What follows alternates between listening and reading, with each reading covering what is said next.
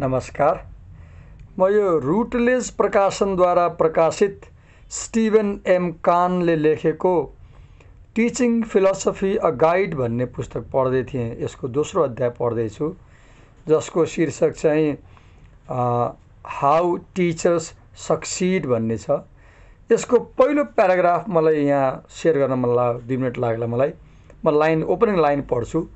Knowing a subject and knowing how to teach it effectively are quite different कुनै पनि विषयवस्तुको ज्ञान हुनु र त्यो विषयवस्तुलाई प्रभावकारी ढङ्गले विद्यार्थीका अगाडि कसरी पढाउने भन्ने फरक विषय हुन्। कुनै विषय जान्दैमा त्यो विषय पढाउन पनि जानिन्छ भन्ने छैन भन्यो। यसले मलाई साह्रै छोयो किन भन्दाखेरि मैले विश्वविद्यालयमा प्रायः के महसुस गर्छु भन्दाखेरि सबैजनाले चाहिँ आफ्नो विषय पढे पुग्छ। त्यो विषयलाई कसरी प्रस्तुत गर्ने भन्नेबारे सोच्नु पर्दैन भनेको मैले धेरै देख्छु। पेडगजी चाहिँ विश्वविद्यालयमा असाध्यै इग्नोर भएको विषय छ। कसरी पढाउने भन्ने बारेमा चाहिँ प्राय मान्छेले सोचेको मैले देख्दिनँ। यहाँ चाहिँ कुनै विषयको जतिसुकै ज्ञान भए पनि त्यो विषयलाई कसरी पढाउने भन्ने कुराको पनि ज्ञान हुनुपर्छ भन्यो। अनि दोस्रो कुरा के भन्यो भन्दाखेरि हामीले पनि विद्यार्थी भएर कुनै कक्षामा बस्दाखेरि कहिलेकाहीँ हामीलाई के लाग्छ भन्दाखेरि ओहो गुरुले आज राम्रो पढाउनु भएन अथवा यो फलानु विषयको सरले त कति राम्रो पढाउनुहुन्न भनेर बच्चाहरूलाई गुनासो गर्छन् नि होइन? हामीले गुनासो गर्छौँ नि। त्यो गुरुलाई विषयवस्तुको ज्ञान नभएर होइन भन्छ कि? उहाँलाई विषयवस्तुको पर्याप्त ज्ञान छ। तर विद्यार्थीले किन रुचाएनन् उहाँलाई भन्दाखेरि उहाँले त्यो विषयवस्तुलाई प्रस्तुत गर्न जान्नु भएन। प्रभावकारी ढङ्गले चाहिँ विद्यार्थीहरू प्रस्तुत गर्न जान्नु भएन भन्छ।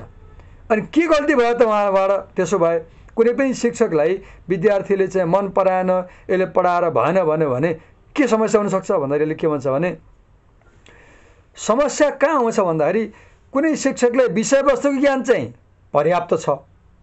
तर त्यो विषयवस्तुलाई कसरी प्रेजेन्ट गर्ने भनेर शिक्षकलाई ज्ञान छैन। अब के हुन्छ?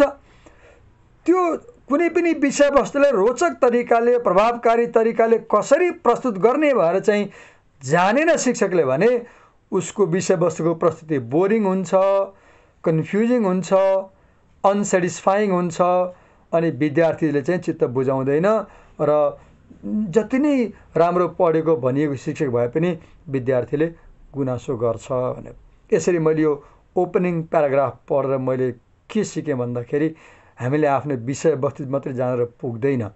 त्यो विषयवस्तुलाई विद्यार्थीको अगाडि चाहिँ प्रभावकारी ढङ्गले सिकाइ हुने गरी लर्निङ हुने गरी लर्नर सेन्टर्ड भएर राम्ररी पेडागोजिकली कसरी त्यसलाई प्रस्तुत गर्न जान्नुपर्ने रहेछ र यो यसबाट मैले चाहिँ pedagogy is equally important in comparison to the knowledge of a subject कुनै पनि विषयवस्तुको ज्ञान जत्तिकै त्यो विषयवस्तुलाई पढाउने शैली पनि महत्त्वपूर्ण हुन्छ भने सिकेँ।